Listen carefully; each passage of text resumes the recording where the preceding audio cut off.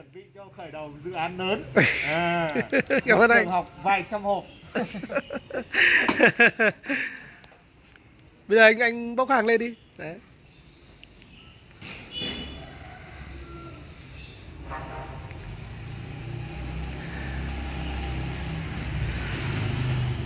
Có khách của một cái công ty ờ, chuyên về tinh dầu và các cái sản phẩm ờ, phân bón thì họ lấy các cái ờ, thùng xốp của tôi để đóng hàng để ờ, xuất khẩu. xuất khẩu đi đâu ấy chú Hình như là họ xuất sang Trung Quốc hay là mà một số nước châu Quốc Nga nữa. Trung Quốc bây giờ đang có dịch ờ, tinh dầu hình như là nghe nói là, là có tác dụng Đúng rồi, đúng rồi, nó khả năng làm sạch không khí và diệt khuẩn.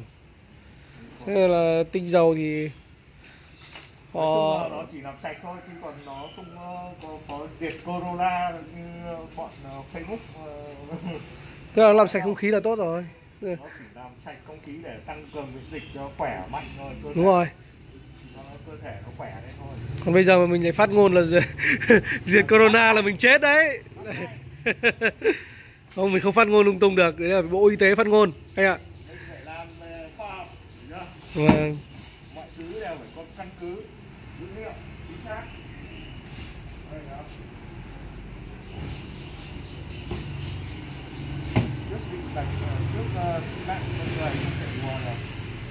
À, anh nhớ lấy lấy một cái miếng xốp nhỏ để chèn vào đây nhá. Kia miếng xốp đầy kìa. Chèn vào chỗ này nhá để tránh méo. Kìa đây xốp kìa. Đúng rồi.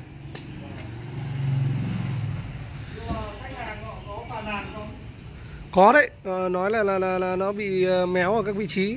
Thì bây giờ mình cho miếng xốp và mình kê lên. Họ còn có đóng gói nhãn hiệu của họ chắc họ phải bao bọc nữa chứ nhỉ Em không biết được nhưng mà con cá hồi à? em không không rõ, không rõ họ đóng kiểu gì. Chưa Thế chưa nhìn thấy. ờ, cái cái cái ờ, tinh dầu của họ này khách hàng nhìn phát lại bảo ô chiết xuất từ cá hồi à chắc là họ cũng phải có nhưng mà em không không biết được, nhưng mà chắc là họ yêu cầu hơi hoàn hảo. Cái cái thùng nó hoàn hảo quá.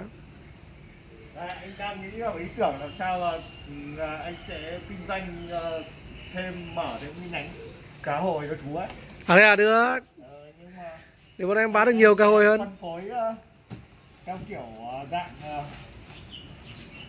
dạng liên kết á À, được.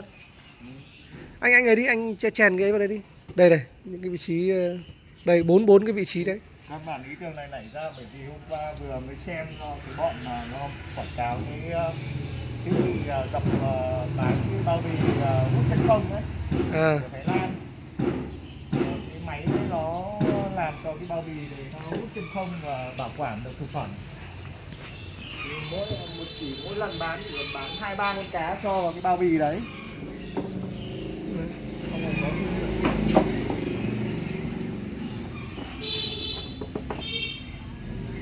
Nghĩa là có bán được. Bán đồ ăn ăn nhanh